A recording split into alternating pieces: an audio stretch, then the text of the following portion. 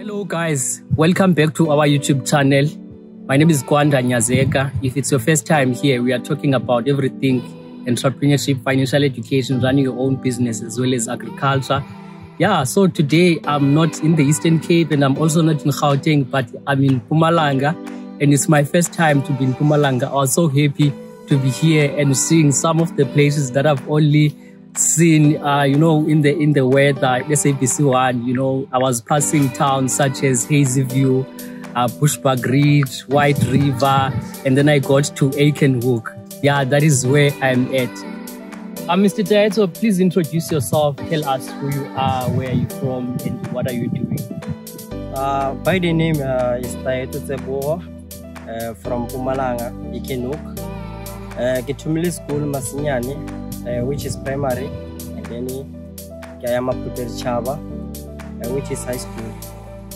Uh, after all, yeah, uh, for agriculture. Okay, that's great. That's great. And uh, you seem like someone who's really passionate about farming. The fact that you even are studying agriculture to speak, and you're also farming. Tell us about your passion. Where does it come from? Is it something that you grew up doing, or it's something that you got to be interested in later in life? ya eh ke ntho gore ke ke godile ke na ke dira eh bokoko bana ba bana ba dira. And then eh, when time goes on ke re ke bona gore eh ntho e bohlokwa. And then ke mo ke ya sekolo gore ke ke correct mo bokoko le ba le ba dira gona mo ba sa dire gona yeah telling the truth is that uh mo re thoma eh ne bonala ka re ke ntho gore eh bokoko ba re pusha mara ge nako e gare e ya pele ke mo re bona gore eh ntho e bohlokwa cause agriculture ke ntho gore e bohlokwa re dula re na re ja almost in every day yeah That's great. That's Yeah. great. And you mentioned that agriculture is very important, you know, but Uh, I've noticed that a lot of young people, they don't show interest in agriculture, you know. As a result, a, a lot of them, they don't see it as something that you can do for living. But yourself, you even went to study at a tertiary institution, you are studying agriculture. So I want to ask you, what motivated you to take that route as opposed to the normal routes that other students would take? And also another question that I want to ask you, was there someone who motivated you and said that you can actually do agriculture and you can actually do it as a career like you are doing it yourself? uh yes o gona motho wa gore o motivatile from white river Yes. his name is Bani. So I was doing uh, my practical to him. So he told me that uh, business is something that we can recruit others, uh, creating jobs. Okay, okay. Okay, that's great. That's great. Uh, uh, we are going to to talk more about the, the gentleman that you are mentioning here. You know, yeah. I think it's important for us to touch there. You know, because you're saying that you are doing in service training at his farm, right? Yeah. And then um, now I want you to introduce uh, your brand, uh, Kimro Farming. What is it exactly that you're doing there? You know that you're farming, but you don't know exactly what you are farming there. So can you introduce us about the brand and tell us what the brand is about? Okay.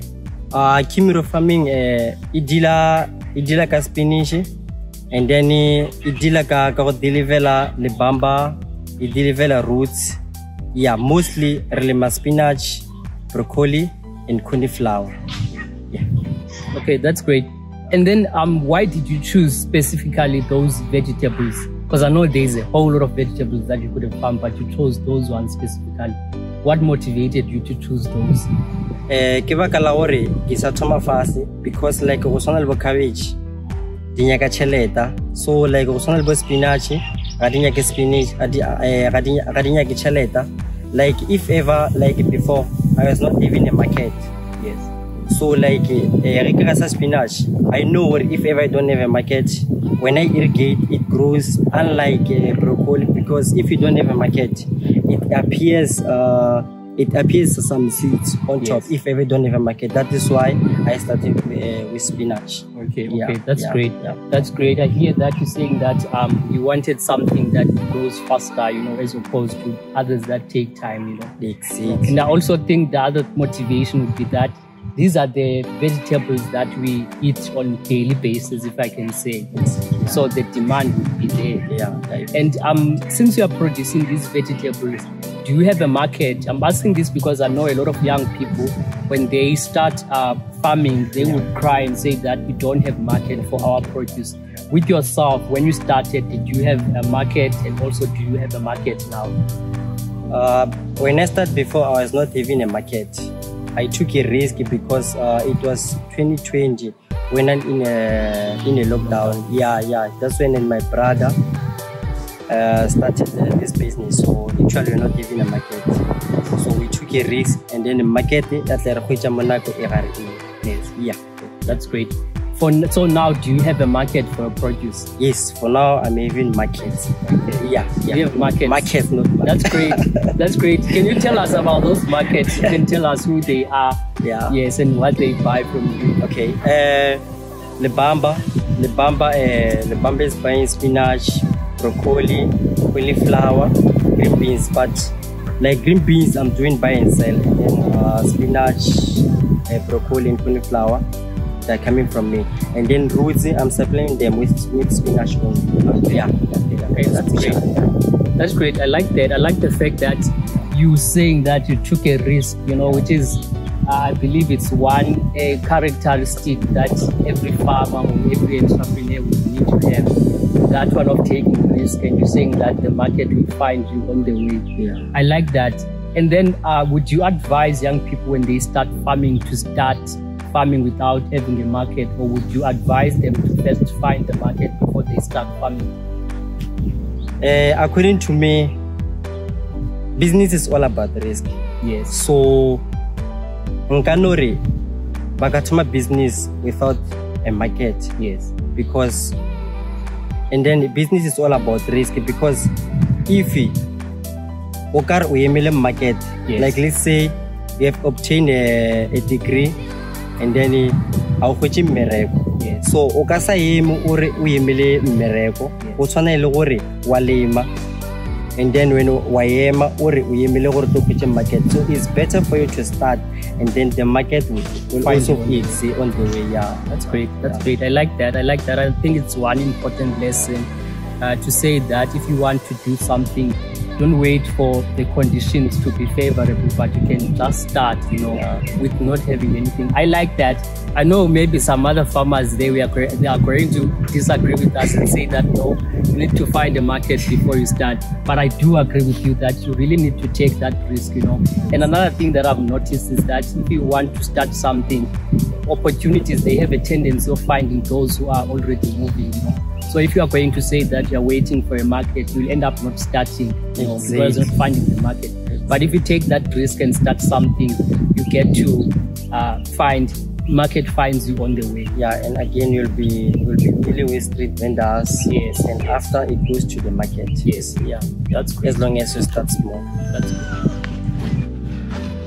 oh okay uh eh maele a ka ke yago ke gore eh whenever you're planting uh, you must follow seasons. Uh, because last year like okay ne gaša spinach and then uh, market ko khotse spinach.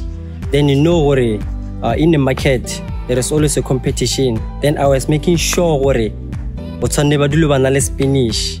And mo ke re ke realize gore during summer ne ke dira loss because i was trying gore ke be le market.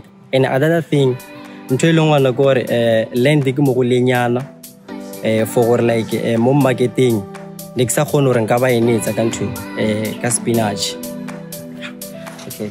Okay. uh, go ya ka nna ke gore since ke bonne uh, with, the, with my cousin ke gore if really to like let's say uh, like uh, mo re thoma ka okay 2020 and then 2021 pressure pomp ya rona iye ya ba le problem since we are, we are doing together and then ke ntse half answer half and then re kgona so just imagine if ke one and a ke na tšhelete so it was going to become a problem. So go ya gaka ke gore re easy. Because if o ka checka le di-companies eh go na le batho ba some they are having shares. So so yeah go ya ka nna ke eh, if ever le bereka re le two or more than eh, e ba safe